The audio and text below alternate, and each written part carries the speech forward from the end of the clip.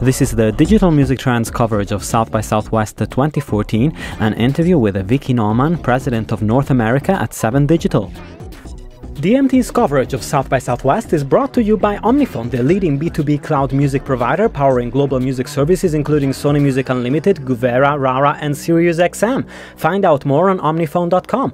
And by MusicGraph, the world's first knowledge engine for music, available as a consumer app and as a Graph API for developers. Check out musicgraph.com or developer.musicgraph.com. Hello, everyone, and welcome to Digital Music Trends coverage of South by Southwest 2014. And it's a real pleasure to be here this year with uh, Vickie Nauman, uh, president of uh, Seven Digital North America. So, hi, Vickie, and thanks for joining me. How's it going?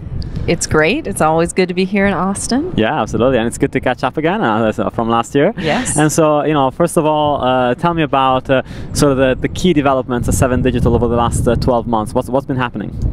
Well, we've been doing a deep dive in streaming, and we have lots of new partners that are going to be rolling out this year, which is really good. Um, we're what we're what we're starting to see is is um, more and more companies that are trying to differentiate and do new things with streaming, and we're encouraging that. And so we have we have two new U.S. companies coming out in the next six months that we're really excited about, and um, and we're you know we're we're continuing to push the big rock up the hill and Yeah. doing music licensing and uh, and trying to trying to Internationally?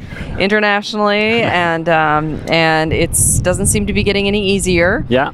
But um, but that's not stopping us Sure, and uh, yeah, of course, we're seeing uh, so many different. Uh, I've had uh, quite a few music uh, chats with uh, with lawyers uh, here at South by. I've had at least five interviews. I'm going to put together a, a legal show. I think uh, it's going to be a two-hour special on what's happening in the U.S. legally. But uh, there's a lot of uh, uncertainty when it comes, you know, uh, um, streaming, internet radio streaming uh, versus uh, you know on, on demand a la carte. And so, uh, ha- have you seen companies struggle with uh, with that? And uh, uh, are there new players that want to come into the the internet radio game that are struggling because of rates and, and uncertainty?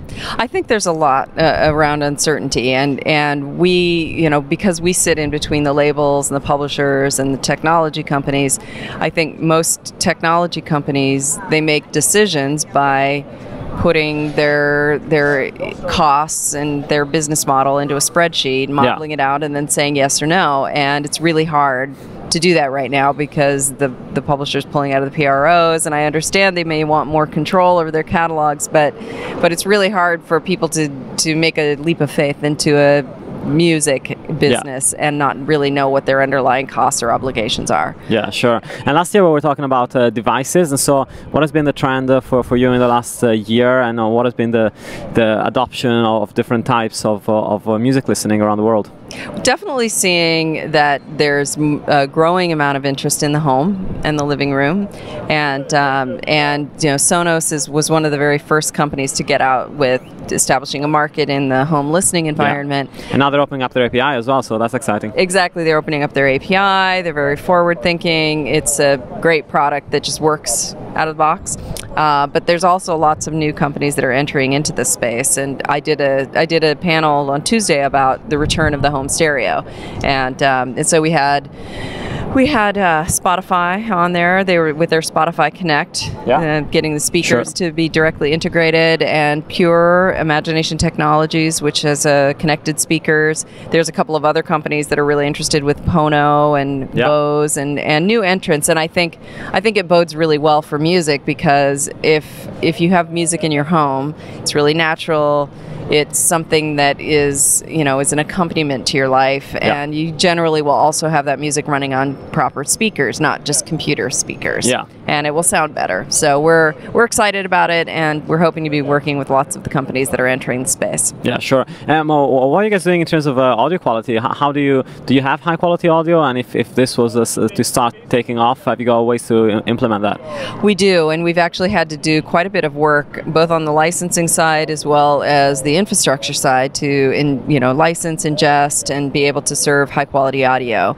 And um, and we you know we we're hoping that certainly with all the work that Neil Young has done to wave the flag of having music sound the way artists intended it to be sound, that that's going to help move the industry forward. And we're also hoping that that all boats will rise a little bit, and that Sure. that we start to establish some new bars for hearing hearing music in better quality sound. Yeah, sure. And I, I must admit, I was the biggest, one of the biggest skeptics of Pono when it was first announced. But now I understand what he's uh, planning to do with that. It makes a lot more sense. Uh, the fact that he's done a Kickstarter around it, and that it's really uh, just a, mostly an awareness play because uh, we know that a lot of people are not going to buy the player because you know it's it's it's burdensome and it's a hardware uh, standalone hardware device that most people don't want to carry around. But at least it's going to get people thinking about the fact that as he really well put out put out, you know, in the movie industry where we're used to seeing quality go up and up and up, and you know, uh, 1080i, 1080p, and and you know, 2K, 4K. And in music, we've seen a, a constant reduction in the quality of, of the sound. So that's definitely something that to be sorted out. Exactly, and uh, and when you think about the living room in particular, it's especially important because if you have if you're listening to a, a movie or you're playing a game, you're going to have that that audio quality that's really good, and it's going to be running through a five or seven point surround sound, and then what you're going to run a 64k MP3 through Yeah. that same sound, it's going to sound terrible, and um, and so I'm I'm I'm an advocate. I'm a backer. I backed the Pono project, so I'm going to get my player, and um, and I think that I, I think that where you know where we always have to draw the right line is between quality and convenience, and different music for different settings. Yeah, sure. And so, looking at uh, how the industry is moving forward, uh, do you feel like uh, you're you're having also to work more and more on the curation side? You know, we're seeing that's uh, that's sort of the buzzword of this uh, South by. Uh, you know, it's been going for on for a while. I, I did a panel a couple of years ago that was uh, uh, exactly on the same subject with uh, with the VP of product of Mog of Last.fm, and uh, you know, it was uh, very similar players to the conversation we're having today. So, what, what is your stance on curation and how you how you sorting that problem?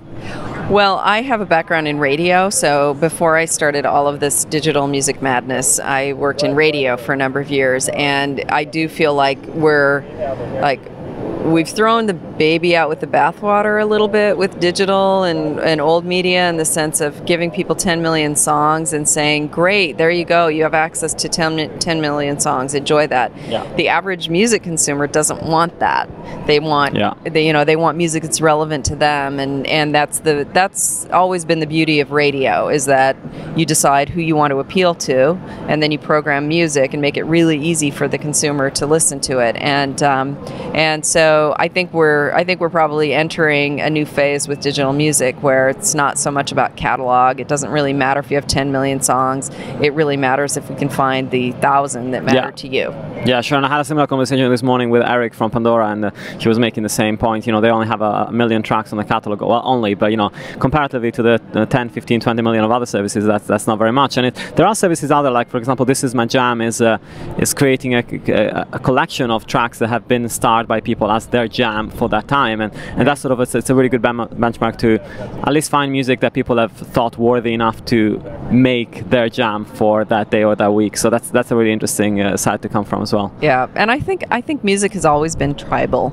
Yeah. um, that people people identify with it. They want to identify with other people who like similar music, and that's you know that isn't one size fits all. And music has never really been one size fits all. So I'm I'm excited to work with some companies that are really focusing on on culling together a smaller collection out of our catalog Yeah. and um, and making it you know making something that will really differentiate in the market. And so, what, what's been happening on, that- on that front? And I know that last year you just started uh, to look at working with smaller companies and smaller startups. So, how's that been evolving over the last year? It's good. It, it's um, for us. We're all, we always look at um, we always look at different you know different characteristics when a company comes to us and they want to try to license the API and build something with music. We you know I always try to understand are they going to scale? You know, are they going to be able to achieve you know some sort of visibility in the very very noisy consumer marketplace? Do they have the money to promote their service? Can they build a great app?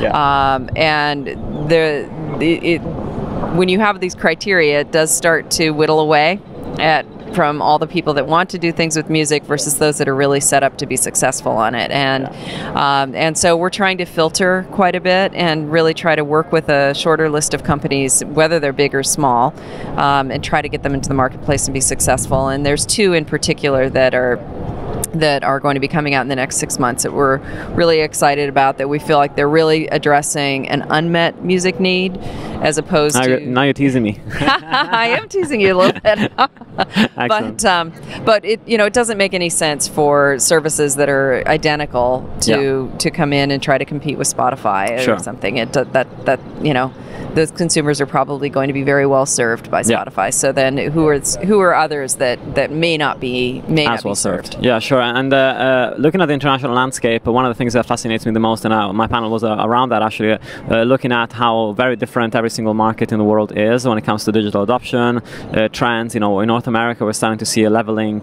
and a, a, a beginning of a decline for downloads or as streaming takes hold. But in other territories, downloads are still a relatively new thing. And so the question is, are consumers going to adopt downloads first or leapfrog into streaming? So when you're looking at the international scene, you know, what's your what's your take, and are you seeing countries where downloads are still uh, growing strongly? Well, absolutely, and I was just I've just had a couple conversa- similar conversations on this trip about that. That the the patterns of behavior and how people are adopting, how consumers are adopting different digital music services, it's wildly different. And I think I, I did some research on this. I think, like for example, in Sweden, which is a bit of an anomaly, but still a really important mile marker, is that 48% of the entire population had tried some streaming service last year, whereas in Japan it was only 3%. And some of that comes down to what kinds of services are allowed to be licensed by the rights holders, what kinds of devices are there, do people have Wi Fi and connectivity in their homes, yeah. and um, so pattern, you know, the patterns are really, really different, and that always poses a challenge for companies that are platform oriented because you want to try to have the same experience in every country around the world. Um, but I, I'm not sure that that's going to play out. It, it certainly at the same, certainly not at the same rate of adoption. Yeah. Yeah, sure, and that that's also uh, you know a question mark on the on the cost side because if you have to adapt your platform to every single market, it's just a really expensive enterprise to do. And a lot of companies are launching you know multiple territories, but they don't actually have people on the ground there, so it's it's difficult. Right. Yeah. Um, yeah. It, it's it's it's really really challenging, and I think that um, I think that we're you know we're starting to see certain patterns that can be predicted. Say if, you know, if the download market is strong, right. then it'll probably take longer for streaming to take hold.